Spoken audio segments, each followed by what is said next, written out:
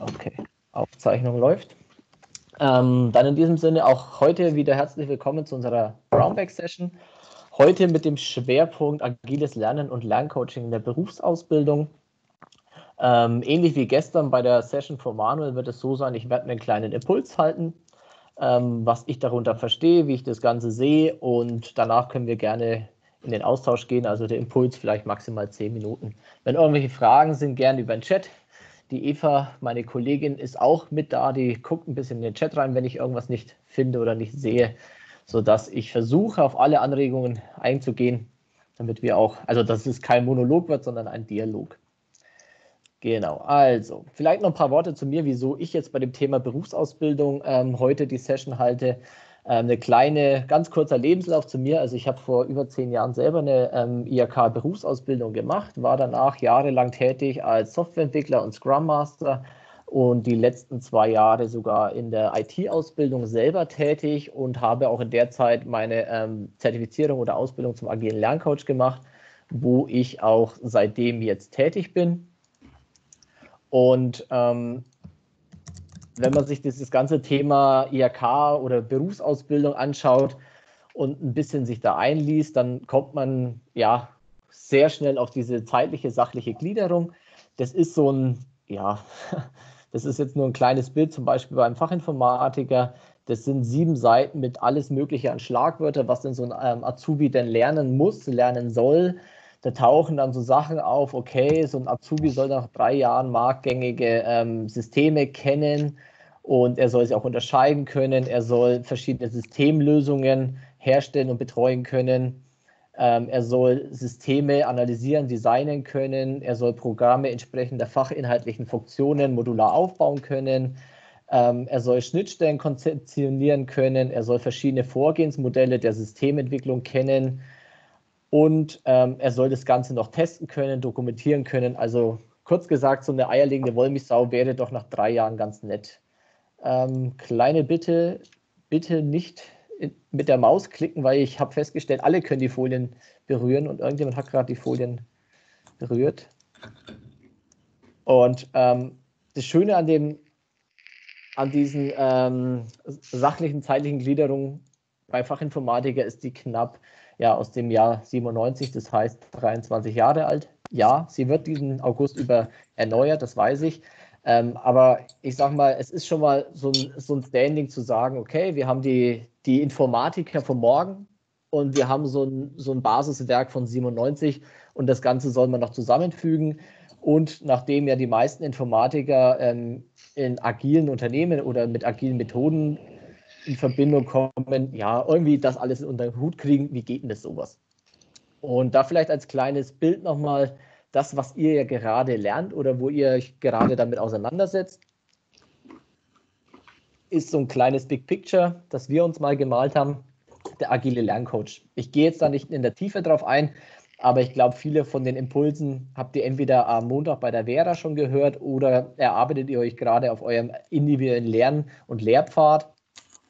Ähm, was halt da sehr wichtig ist, ist dieses persönlich, individuell, dieses gemeinsam, dieses iterative, agile Lernräume und das alles eben mit diesem ja, 23 Jahre alten Konstrukt verbinden. Oder, okay, da fehlt leider eine Folie.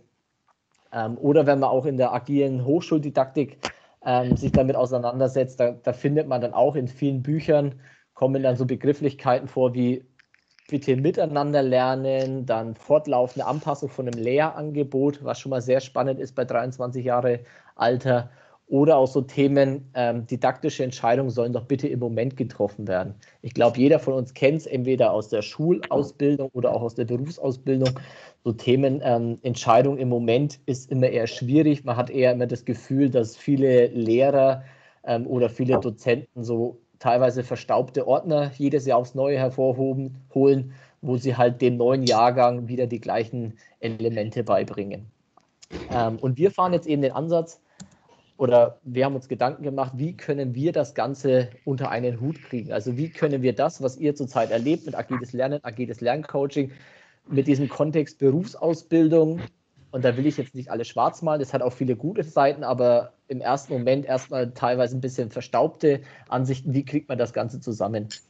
Ähm, und ich habe da, wie gerade schon gesagt, in meiner Erfahrung, als ich da noch als Tierausbilder war, habe ich schon das versucht, diese agilen Ansätze in der Berufsausbildung unterzukriegen. Ähm, wer da mehr drüber wissen will, einfach mal mich auf den verschiedenen Kanälen suchen, Xing, LinkedIn, da habe ich auch schon im Rahmen der CLC ein bisschen was vorgetragen. Da möchte ich gar nicht darauf eingehen, weil ich glaube, das wird eine längere Veranstaltung. Der Volkmar kennt es ja. Aber ähm, heute möchte ich euch eher zeigen, neben den Azubis, die das ja letztendlich am Ende erleben, haben wir uns jetzt auch ähm, gedacht, wir müssen vielleicht auch die Ausbilder selber abholen. Weil, also die Ausbilder, die ich kenne oder mit denen ich immer im Kontakt habe, die sind gefühlt schon immer Ausbilder oder die machen das schon viele, viele Jahre ähm, und die haben das ja schon immer so gemacht und ähm, die, die machen das halt, wie sie es halt damals erlebt haben oder viele von euch haben wahrscheinlich auch diesen Aderschein. Sobald man ja diesen hat, darf man ausbilden. Und wir versuchen eben mit einer neuen Zertifizierung, den sogenannten Coach für agile Berufsausbildung, den Ausbilder selber ein bisschen an die Hand zu nehmen und in diese agile Welt mit zu begleiten. Und ähm, um als kleines Big Picture für diesen, für diesen Kurs oder was wir uns da überlegt haben, habe ich einfach mal die, die drei Kernelemente von diesem Titel auseinandergerissen und mit ein paar Bilder bepackt und würde einfach mal rechts anfangen. Berufsausbildung ist einfach der Kontext, okay, oben rechts hat man diesen Rahmenplan, den ich gerade angesprochen habe. Dann hat man dieses Bildchen, ähm, drei verschiedene ähm, Individuen, wo jeder so ein bisschen einen anderen Blick auf die Welt hat. Wie geht man mit denen um? Und unten rechts, wir reden immer noch von Ausbildung. Ausbildung heißt Lernen. Lernen bedeutet neues Wissen aneignen. Und das ist so unser Kosmos, in dem wir uns befinden.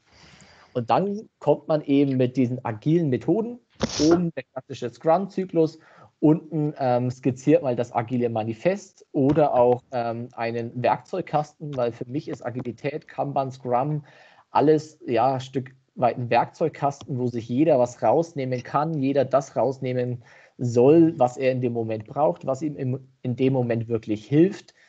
Und das ist so eine Komponente, okay, wie kann man das mit der Berufsausbildung ähm, ja, verbinden und dann jetzt noch die Komponente Coaching, die ihr ja auch jetzt auch die Woche kennenlernt mit unserem agilen Lerncoach. Ähm, wie kann man die Komponente Coaching damit reinkriegen? Also wie kann man den Azubi so ausbilden, dass man ihn sehr individuell, sehr bedarfsgerecht also ihn wirklich als Individuum, was ja auch einer der agilen Werte ist, dieses Individuum in den Vordergrund stellt und nicht eben sagt, hey, hier ist deine äh, sachliche, zeitliche Gliederung, lern die mal, lern das alles mal und dann schaffst du deine Prüfung, sondern wirklich den Azubi an die Hand nehmen, den Azubi individuell zu begleiten, damit er seinen individuellen Weg geht. Und ich sage es immer so schön, dass diese IHK-Prüfung einfach nur noch so ein okay, das mache ich, weil ich es machen muss, um dieses Zertifikat oder halt diesen Rang zu erreichen. Aber letztendlich ist das Wichtigste ja, dass der Azubi wirklich fürs Leben lernt, dieses Thema Selbstwirksamkeit, dass er Themen lernt, versteht und sie dann auch anwenden kann und nicht dieses klassische Bulimie-Lernen, was vielleicht der eine oder andere im Studium mal gemacht hat, damit man irgendeine Prüfung besteht, sondern uns liegt es ja wirklich daran, nachhaltiges Lernen zu ermöglichen.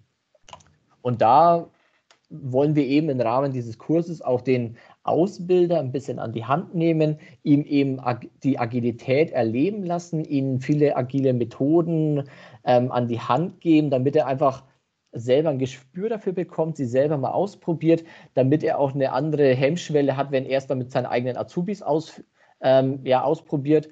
Aber natürlich auch dem Ausbilder so ein paar Coaching-Methoden an die Hand geben. Was bedeutet Coaching im Ausbildungskontext?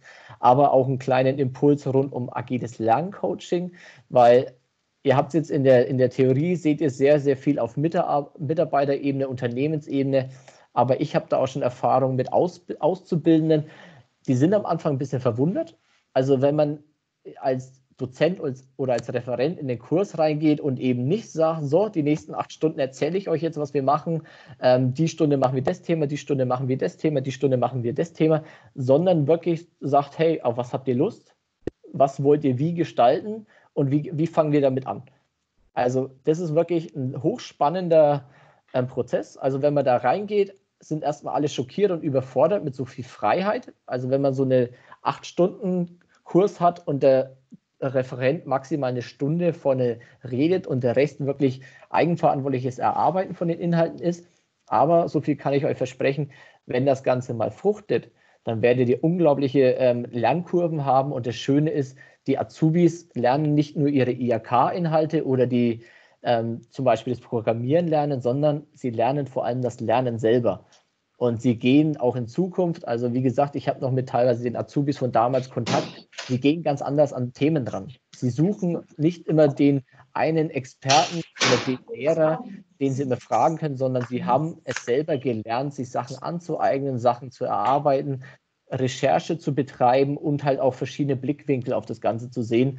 Und all diese ähm, Impulse oder diese Möglichkeiten möchten wir eben jetzt auch versuchen, den Ausbildern an die Hand zu geben ähm, mit verschiedenen Tools, mit verschiedenen Methoden, aber mit ganz viel Experimentieren, weil wir haben festgestellt, ähm, und da sind wir in der ähm, Zusammenarbeit mit der IHK, dass halt vor allem der Ausbilder so diese gewisse Hemmung am Anfang hat.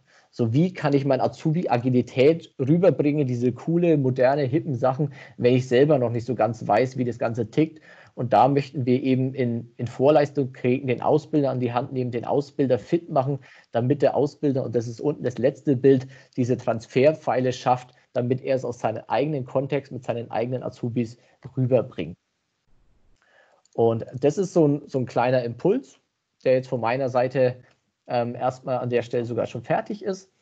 Also vielleicht nochmal zusammenfassen, so diese IAK mit all ihren Themen, gute und schlechte Seiten.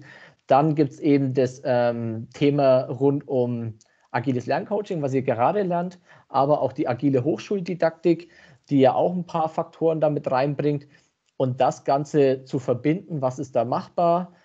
Zum einen für den Azubi, aber was ich auch immer sehr, sehr wichtig finde, den Ausbilder oder halt den Ausbildungsbeauftragten, wie sie auch immer heißen im Unternehmen, da auch mitzunehmen. Und da können wir jetzt gerne ein bisschen in Austausch gehen. Ich habe, wenn ich auf die nächste Folie komme, einfach mal so ganz platt ein paar Fragen in den Raum gestellt. Ähm, wo seht ihr da vielleicht Chancen? Was haltet ihr grundsätzlich davon? Wo kriegt ihr sofort irgendwie Gänsehaut oder denkt ihr, oh Gott, das kann man doch nicht machen?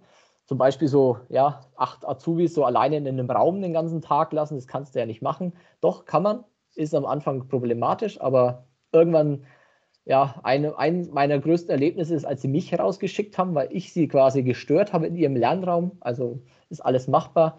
Ähm, aber da können wir uns jetzt gerne mal ein bisschen austauschen. Vielleicht habt ihr schon Erfahrungen, ähm, sodass wir da gerne jetzt mal ins Gespräch gehen. Ich sehe schon die ersten Rückmeldungen. Genau. Ach, der Harald meldet sich beim Harald, sehr schön. Ähm, genau, es gibt auch für die Schule gibt es, da gibt es dieses auch dieses Framework EduScrum, wen das Ganze ein bisschen interessiert. Ähm, auch das habe ich mir schon mal durchgelesen.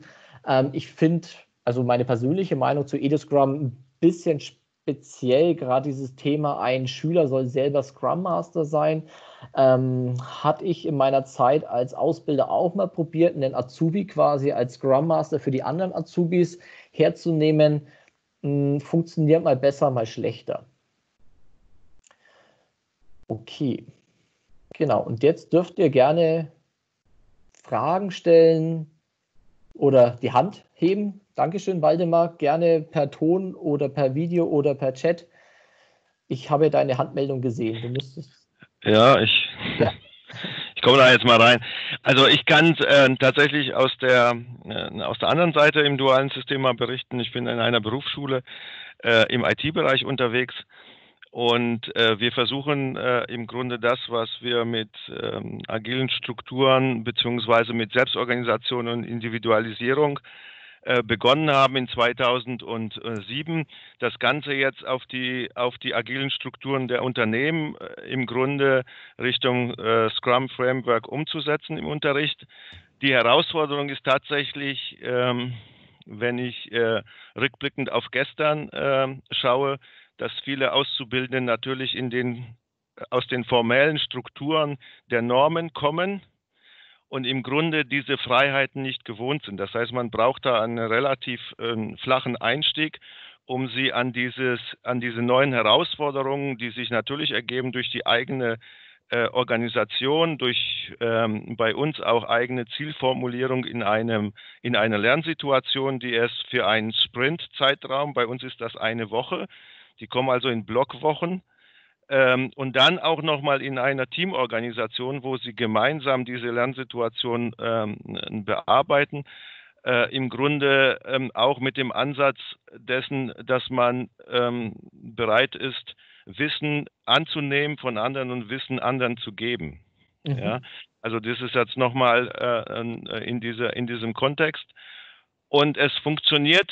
Ähm, wir haben in den IT-Klassen eine äh, bei den Anwendungsentwicklungen, ich sage mal, eine Abdeckung von circa 30 Prozent an Unternehmen, die agil äh, strukturiert sind. Äh, in den anderen Schwerpunkten wie Systemintegration ist das eher noch weniger. Das sind vielleicht ein, zwei Ausbildungsbetriebe, die so arbeiten, da ist es schon einfacher, weil sie diese, diese Strukturen im Unternehmen kennengelernt haben. Mhm. Das ist insofern förderlich, weil sie in solchen Teams, wenn man Einzelne hat, die in Unternehmen so arbeiten, natürlich dieser Transfer äh, besser funktioniert. Mhm. Die Herausforderungen sind aber tatsächlich, äh, in der Struktur und äh, wo wir viel Wert äh, drauflegen, ist im, im, Nachgang auch tatsächlich in der Retrospektive mhm. nicht über die Inhalte, also die Wissensinhalte des Curriculums zu reden, nur tatsächlich mit den Teams, ähm, wie hat das funktioniert, wie hat ein Wissensaustausch funktioniert, wie hat Lernen, die Lerneinteilung und was ein sehr wertvolles äh, Tool aus, aus dem Scrum Framework ist, ist tatsächlich das Board und die Transparenz dessen, was macht einer und wo ist er gerade in der Themenwoche. Ja, und ja. Äh, zusätzlich dazu kommt, und gerade jetzt in der Corona-Zeit, äh, sind äh, im Grunde die Strukturen, die greifen jetzt im Online-Lernen noch mehr. Das heißt, ich kann mit meinen Lernenden äh, im Grunde äh, die Strukturen abbilden. Und was hilfreich ist, ist tatsächlich dieses tägliche Daily, wo man sich auch nochmal austauscht, gibt es Fragen, welche Inputs braucht ihr zusätzlich und so weiter. Also ich würde ähm, aus den Erfahrungen auch drum äh, auch werben, sich auf diese auf so einen Weg zu, be ähm, zu begeben und das tatsächlich auch äh, in anderen Strukturen, also in anderen Schulformen vielleicht auch mal versuchen. Da zielt ja EduScrum drauf, dann gibt es ja nochmal dieses Scrum for Schools von Boris Glogger, die auch in diese Richtung Angebote äh, für äh, Lernbegleiter bereithalten. Und ich muss in unserer Situation sagen, was natürlich den Kolleginnen und Kollegen geholfen hat, war ja eine äh, komplette ähm, Lerncoach-Ausbildung. Mhm. Also das hilft natürlich, in solchen Strukturen zu arbeiten. Ja, ja. Vielen Dank. Ähm, ich vielleicht noch eine kleine Anekdote, weil du vorhin gesagt hast, ähm, es ist immer schwierig, den, den jungen Menschen plötzlich so viel Freiheit zu geben. Ich hatte es vorhin schon gesagt, wenn die plötzlich so eigenverantwortlich den ganzen Tag gestalten, ähm, da hatte ich die gute Erfahrung mit Experimenten. Also mhm. wir hatten, das erste Experiment war wirklich zu sagen, ich gebe euch einen Arbeitsauftrag und verlasst den Raum. Ist schiefgegangen, weil gefühlt nach ein, zwei Stunden kaum Ergebnisse waren, weil die überfordert waren. Die meisten waren am Smartphone gehockt und wussten nicht so, okay, was mache ich mit der ganzen Freizeit oder mit dieser Freiheit. Ähm, und dann hatten wir das Experiment, ja, Harald, sei doch bitte irgendwie im Raum, ohne im Raum zu sein. Und dann habe ich halt gesagt, naja, sagt mir, wie ich das sein kann. Und das war ganz witzig. Es war ein ganz normaler Besprechungsraum oder ein ganz normaler Schulungsraum. Und wir haben wirklich vorne beim Referenten, vor den Referenten, drei äh, Pinwände hingebaut, sodass ich im Raum war, ohne im Raum zu sein. Also ich habe sie nicht gesehen, ich habe sie nur ein bisschen gehört, konnte problemlos an meinen normalen Themen arbeiten. Aber sie wussten, sobald irgendwas ist, sobald sie irgendwelche Fragen haben, ich bin da mit im Raum. Und das klingt total makaber, aber das war ein unglaubliches Lernen, Lerneffekt für die Azubis, aber auch für mich, ich habe ihnen dieses Gefühl gegeben, im Raum zu sein, ohne im Raum zu sein. Und auch da, Waldemar, wie du schon sehr schön gesagt hast, Retrospektiven, immer drüber sprechen. Bei uns waren es zwei Tage Sprints, wo wir immer am Ende zwei Stunden uns Zeit genommen haben, um diesen Prozess zu reflektieren. Weniger die Inhalte, weil die sind teilweise einfach vorgegeben, aber einfach diesen Pro Prozess zu reflektieren, wie können wir als Lernteam, und da habe ich immer alle Azubis mit ins Boot gezogen, wie können wir das bestmöglich gestalten, das Ganze. Von dem her vielen Dank für deinen Impuls.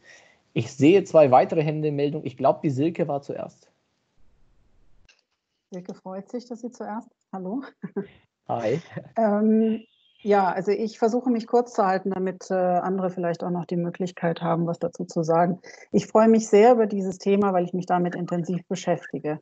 Und zwar die Frage, wie ich die Möglichkeit habe, mit meinen Fähigkeiten als agiler Coach, also ich bin auch Agile Change Coach, ich beschäftige mich hauptsächlich mit Veränderungsprozessen und meiner sozusagen implizit agilen ähm, Lern-Coaching-Erfahrungen äh, in der Nachhilfe, weil ich tatsächlich einen Kfz-Mechatroniker begleite, jetzt schon zwei Jahre. Und es mir hier im Wesentlichen darum geht, ihn eigentlich darin zu schulen, wie er mit den Inhalten umgeht, wie er zum Teil auch mit einem Schulsystem umgeht, was ähm, überfordert ist, will ich mal zum Teil wirklich sagen, weil es hier gerade im Handwerk viele Instanzen gibt, die alle mitreden. Wir haben eine Innung, wir haben die Berufsschule, äh, wir haben den äh, Ausbildungsbetrieb und so weiter. Das heißt, ich sehe, wo es hier einen Bedarf gibt und jetzt gerade in Corona-Zeiten Selbstorganisation passierte. Lernt doch mal selber für die Zwischenprüfung, war dann der Auftrag. Was ist da passiert? Äh, komplette Überforderung, weil keine Führung. Und mhm. Agilität braucht auch eine Struktur. Mhm. Und meine Frage, also ich könnte jetzt lang äh, darüber reden, aber meine Frage ist, wie kommt man da rein? Wie kommt man dahin, äh, Ausbilder in Betrieben oder auch ähm, in der Schule und so weiter äh, zu unterstützen dabei, sie aufzuschlauen, wie so eine agile Lernförderung, nenne ich mal, äh, das jetzt aussehen könnte. Das heißt, inwiefern können wir mit unserer Kompetenz ähm, wirklich hier beauftragt werden, also ich ähm, glaube, das ist meine große Frage, wie mhm. komme ich da rein in so ein System? Ja? Ähm, also meine Erfahrung an der Ecke, und da haben wir auch mit der IHK viel zusammengearbeitet, ist dieses Thema. Ähm, Mama. Nee. Nicht bei mir. Ich mute kurz. Gut.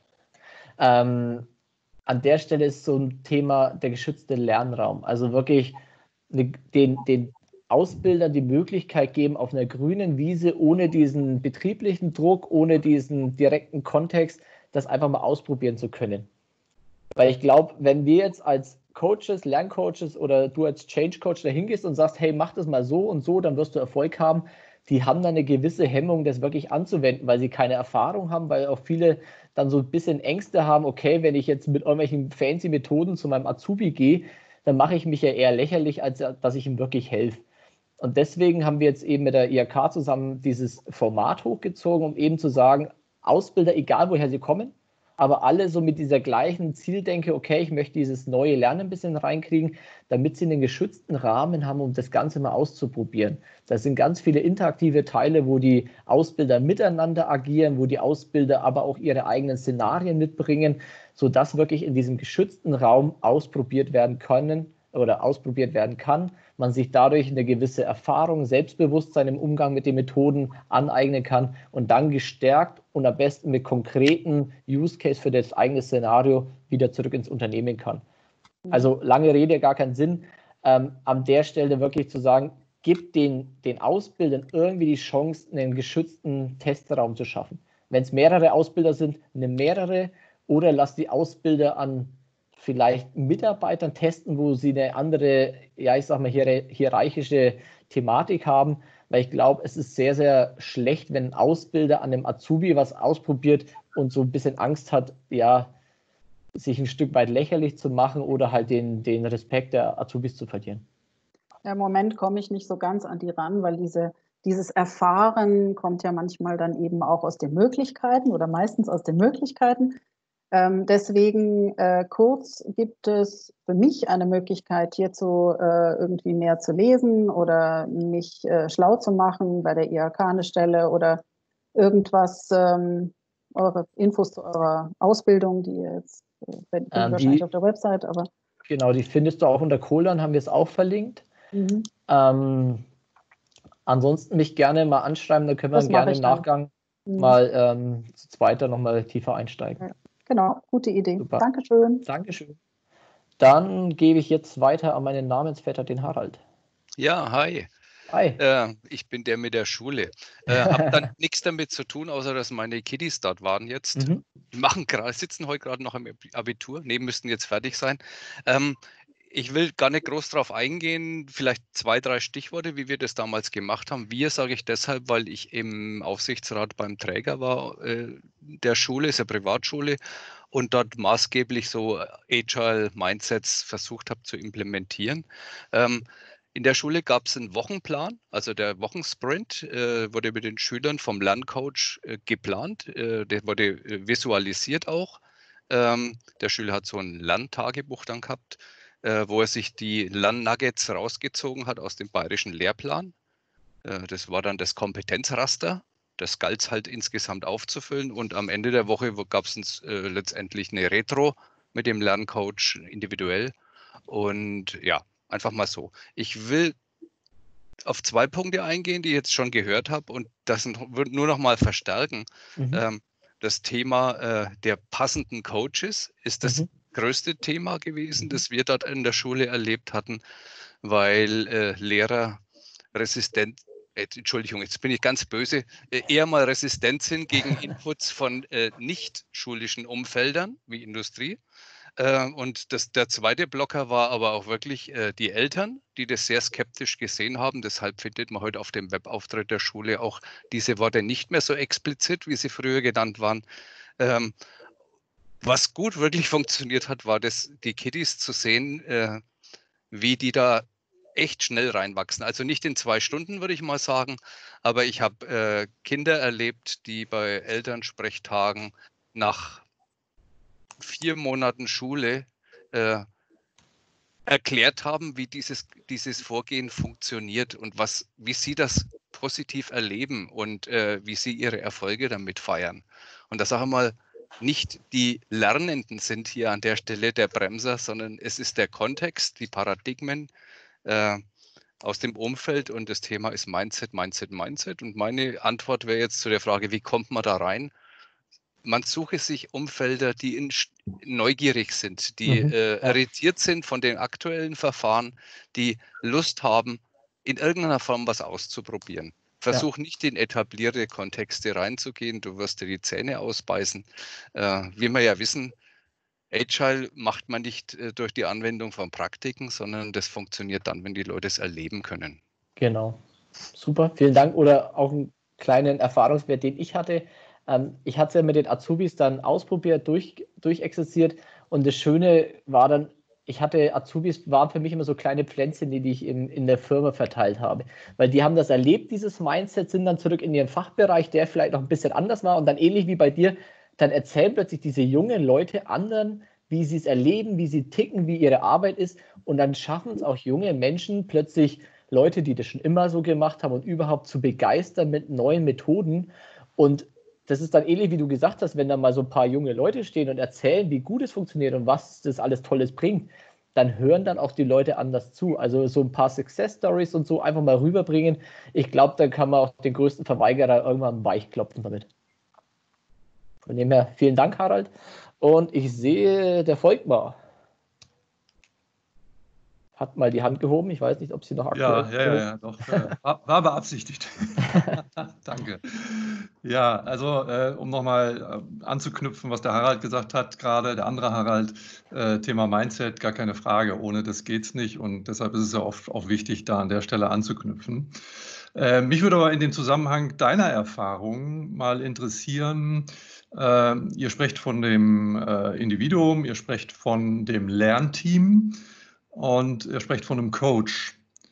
Äh, welche weiteren Rollen habt ihr denn sozusagen in eurem Lernsetting? Du hattest vorhin mal ganz kurz erwähnt, äh, es ist nicht immer eine gute Idee, äh, jemanden von den, von den aktuellen Auszubildenden zum Master zu bestimmen oder zu entwickeln oder wie auch immer. Und ähm, ja, wer, wer übernimmt sozusagen die Rolle ähm, der, der, des Product Owners oder eines Product Owner Teams, äh, also Learning Owner Teams? Mhm. Ähm, also das Learning Owner war in der Hinsicht ein Stück weit ich, weil ich quasi auf Basis von der sachlichen, zeitlichen Gliederung die Themenkomplexe mitgebracht habe, aber die inhaltlichen Aufbau oder die Vorgehensweise, also vorhin war schon der, der schöne ähm, Punkt Transparenz. Also ich habe eigentlich für so ein Zweitagesmodul habe ich meistens so vier, fünf Kärtchen mit so Überthemen. Zum Beispiel Überthema in der Programmierung UML oder testgetriebene Entwicklung. Das sind irgendwelche Blasen. Darüber kann man Wochen und Monate philosophieren, Berichte schreiben, sonst wie. Ähm, aber das waren die Themen, die ich mitgebracht habe. Und auf Basis von denen habe ich mit den Azubis zusammen den roten Faden erarbeitet, die Reihenfolge ähm, festgelegt und halt, ja, also letztendlich, ich sag mal, ich hatte so diesen Blick IRK. Was müssen wir für die IRK lernen? Was müssen wir für die IRK erarbeiten? Aber die Art und Weise, die Tiefe, die Methodik, all das durften die Azubis mitbestimmen weil wie es der Harald vorhin schön, so schön gesagt hat, wenn man die irgendwie ein bisschen anstichelt, die haben die besten Ideen. Also irgendwann haben die Azubis angefangen, mir Ideen zu schicken. Die haben mir Links geschickt, die haben mir irgendwelche Portale geschickt, probiert das mal aus, die haben mir Kurse geschickt. Und dann habe ich immer gemerkt, hey, wieso nehme ich nicht diejenigen mit in die Verantwortung, die es doch erleben wollen oder erleben können? Hm, ja. Ähm, ich, ich, frage deshalb vor dem Hintergrund, äh, und ich habe mir das schon so ein bisschen so gedacht, ähm, äh, dass der Learning Owner, dass das sozusagen derjenige ist, der sie begleitet. Nun hast du ja gleichzeitig dann sozusagen manchmal auch den anderen Hut auf, den des Coaches. Äh, und, und das kann ja manchmal auch zu Konflikten führen. Ne? Also wenn ich jetzt mal an äh, agiles Projektmanagement denke, äh, da haben wir einen Product Owner, da haben wir ein Team, da haben wir einen Master.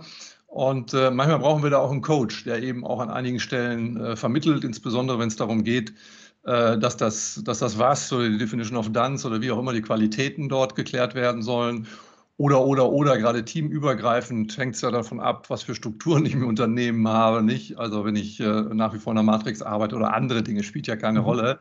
Äh, also es gibt manchmal auch so eine, so eine, so eine übergreifende vermittelnde Funktion. Mhm. Äh, die sollte ja nicht der Product Owner einnehmen. Also wie, wie bist du sozusagen mit diesem Twitter, mit dieser Twitter-Funktion umgegangen? Ähm, wir hatten da zwei verschiedene Ansätze. Der erste Ansatz war zu sagen, ähm, letztendlich bewährt, also es war, gab immer eine Zwölfergruppe und die Zwölfergruppe bewertet selber, ob die Inhalte richtig und das Passende sind. Also diese Definition of Done ist im Team entstanden. Das heißt, alles, was erarbeitet wurde, jede Aufgabe, jede Gruppenarbeit wurde immer dem Plenum, also den anderen zwölf insgesamt, vorgestellt und dann hat man zusammen das Ganze reflektiert. Also so eine Art Review über die Inhalte hat immer im Plenum stattgefunden. Also dieses Definition of Done war eigentlich auf alle Köpfe verteilt. Ja. Mhm. Und das zweite, was da, äh, der zweite Ansatz war Gamification. Also wenn man gar nicht mehr weiß, wohin, dann einfach Azubis zwei Gruppen teilen und die gegeneinander spielen lassen. Und wenn es am Ende nur eine Runde Kaffee ist, die, die hauen sich am liebsten die Köpfe ein, weil da sind die Feuer und Flamme. Ja, ja, ja. Und auch da war es dann eben so, da war ich in der Rolle als Kunde und habe gesagt, hey, wenn ihr das Feature macht, kriegt ihr dafür 300 Punkte, für das Feature 500 Punkte. Und schon haben die imaginär ihre Punkte zusammengesammelt und sind wie die Wilden losgerannt und haben losentwickelt, weil sie waren angefixt. Also da ja. ging es um virtuelle Punkte und am Ende wirklich um eine Runde Kaffee und die waren eine Woche ja. sowas von on, on fire. Das war sehr beeindruckend. Ja, sehr schön. Vielen Dank. Genau. Harald, hier ist Piwi. Ja, ähm, hi Piwi. Genau, das wird gerade ein Stichwort geliefert, ähm, nämlich Gamification und Punkte sammeln, was ja immer wieder so in, in Leistungs... Ähm, ja, also ja, so, so eine Leistungskontrolle auch ganz schnell in den Ohren von Betriebsräten klingelt. Deswegen würde mich mal interessieren, wie hast du die Betriebsräte davon überzeugt, dass das ein ganz wichtiger und, und zukunftsweisender Weg ist, so die Azubis im Unternehmen einfach auch an die Realität zu führen? Mhm. Ähm, ich hatte dieses Gamification-Thema eigentlich nur innerhalb einer Einheit, also innerhalb einer Ein-Wochen-Einheit. Ähm, es gab auch mal Überlegungen zu sagen, lasst uns mal das, ähm, die komplette Ausbildung mit Punkten oder mit irgendwelchen Avataren oder irgendwelchen Budgets oder sonst wie abbilden. Aber da war eben, genau wie du gesagt hast, dieses Betriebsrat-Thematik. Deswegen ähm, sind wir dann davon abgekommen. Ähm, deswegen hatten wir dann eben nur gesagt, wir machen es nur auf ein einzelnes Seminar, wo man von vornherein weiß, wir beginnen am Anfang beide mit null Punkten und am Ende geht es um eine Runde Kaffee. Und innerhalb einer sechs Person, also es ging dann, glaube ich, insgesamt um 4000 Punkte. Und da wusste jeder, es geht um eine Kaffee und es ist egal, was in der Woche passiert. Es ist das Richtige, weil es geht um keinen, um keinen Punkt, sondern es geht um die Lerninhalte, die man da vermittelt. Deswegen bewusst kleinskaliert, um dieser Gefahr vom Betriebsrat und Leistungskontrolle und sonst was ähm, ja. entgegenzuwirken. Genau, ich meinte es aber gar nicht nur auf diese Gamification bezogen, mhm. sondern generell auf das Konzept. Da gehe ich mal davon aus, dass du ja auch da im Dialog mit dem Betriebsrat warst. Und vielleicht, also was war da schwer in der Diskussion mit dem Betriebsrat äh, oder waren die von Anfang an Feuer und Flamme? Und wenn das nicht, wie hast du sie davon überzeugt? Also wirklich diesen agilen Lernprozess äh, da in der Ausbildung äh, zu etablieren. Also wir haben es ihnen von vornherein vorgestellt, ähm, es war mehr so diese ähm, Gefahrenaspekte, die angesprochen, wie ist es äh, mit Schwächeren und Stärkeren. Nicht, dass der eine sich schlechter fühlt, der andere ähm, ja irgendwie über die anderen her, hervordroht. Ähm, und wir hatten da wirklich einfach das angesprochen, dass wir immer präsent sind.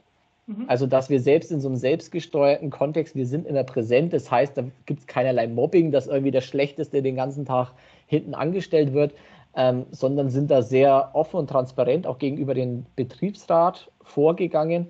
Ähm, wir haben sie auch regelmäßig informiert. Es war, glaube ich, zu, zu, der Zeit sogar ein Azubi von der JAV mit drin, was ja quasi die jungen Ausbildungsvertretung mhm, ähm, genau. auf Azubi-Ebene ist, sodass wir da einfach mit, immer mit offenen Karten gespielt haben. Mhm. Also wir haben denen das immer präsent gezeigt oder halt immer transparent gezeigt, was wir da mit wem wie tun, ähm, sodass da eigentlich nie so dieses Thema entstanden ist, hey, was machen die da? Ist das alles richtig, was die da tun? Geht es da irgendjemand schlecht? Geht es da irgendjemand gut? Es war dann sogar so weit, ähm, und da bin ich bis heute noch besonders stolz drauf, da habe ich den Azubis die Chance angeboten, erzählt, was ihr erlebt habt, dem Haus. Und ähm, da waren dann am Ende wirklich zwei Azubis, die vor knapp 150 Mitarbeitern einfach mal in der Stunde einen Vortrag gehalten haben, hey, so war unsere Ausbildung.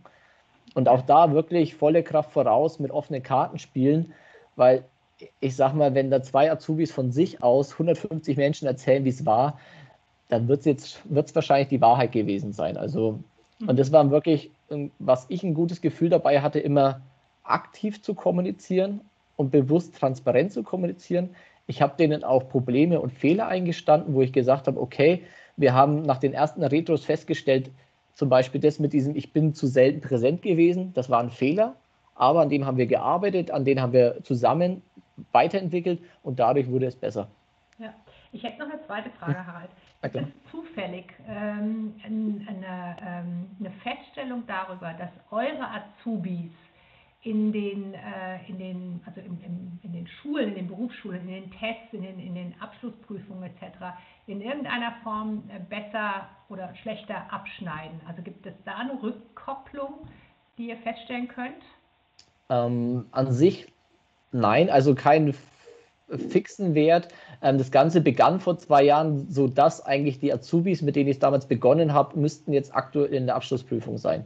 Ja. Ähm, was ich aber deutlich gemerkt habe und auch von vielen aus dem Haus wiedergespiegelt bekommen habe, ist dieses Thema, mein Azubi ist so mündig geworden.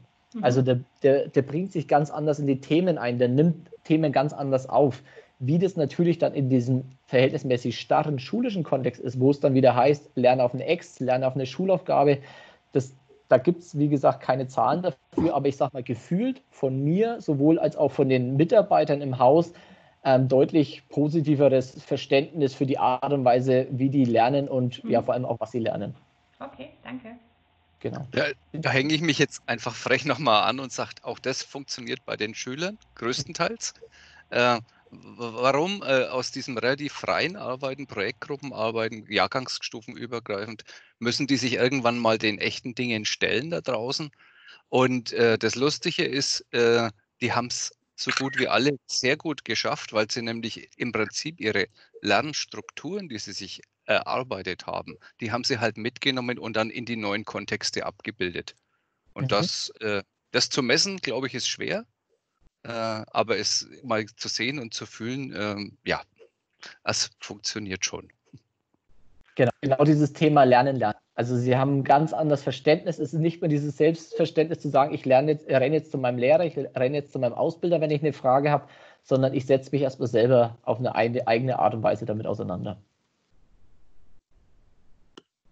Gut. Es ist zehn über Plan.